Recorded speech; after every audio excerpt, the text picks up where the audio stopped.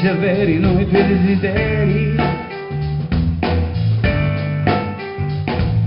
Tu fa quello che hai da fare non riesci neanche più a trovare un minuto per te.